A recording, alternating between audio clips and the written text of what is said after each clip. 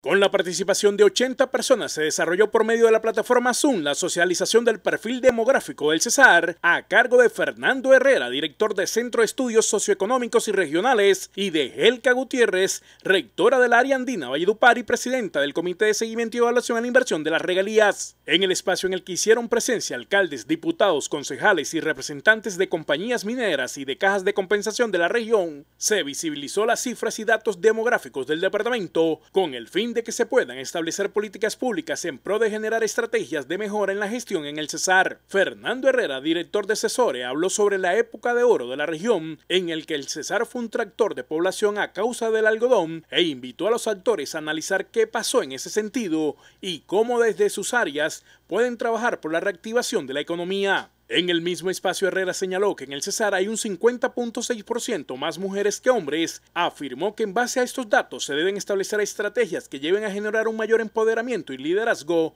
en el género femenino en la región. Asimismo reveló cifras de población joven y de embarazo adolescente, afirmando que según estudios en el Cesar hay más de 300.000 jóvenes. Invitó a que se generen políticas que disminuyan la tasa de desempleo y mejoren la calidad educativa. De igual manera reveló que el 50% de las madres del departamento son menores de 24 años y de ellas el 80% abandonan sus estudios después de quedar en embarazo.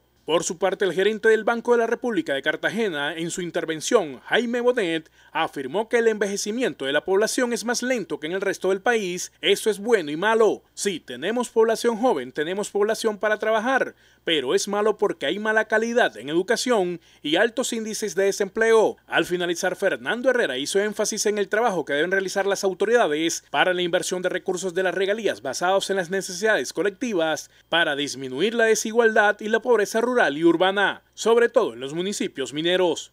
El Cesar es uno de los departamentos con mayor crecimiento poblacional a nivel nacional con un 47%.